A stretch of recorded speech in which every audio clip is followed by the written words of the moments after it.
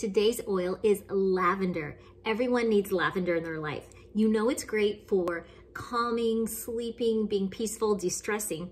Mm, but it's also so great for your skin. It's like a first aid oil. If you have cuts, burns from the kitchen or from the sun, put it directly on your skin. You can um, put it on neat. It's also great for any skin irritation like a rash or itchy skin. Um, and it just so soothing. Now, it's great for your face, facial too. Um, I love making a serum with lavender and jojoba oil, and sometimes I throw in frankincense. You can put it on and do a little facial massage or um, just pat it in these kind of areas and help have more smooth skin. Okay, lavender is great if you have any dry skin. So I grab coconut oil and maybe just a little bit in my hand and a few drops and put it on my skin and for chapped lips.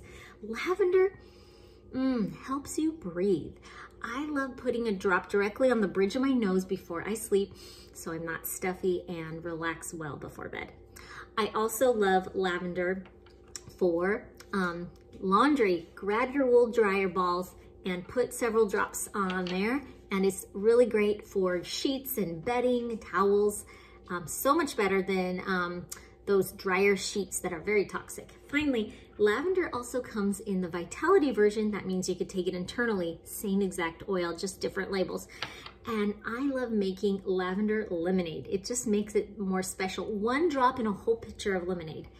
My favorite thing to do is lavender lattes. So I put one drop in my coffee with um, my almond milk or oat milk or half and half, whatever milk you like. So grab your lavender, relax, have wonderful skin, and um, let's talk if you need it.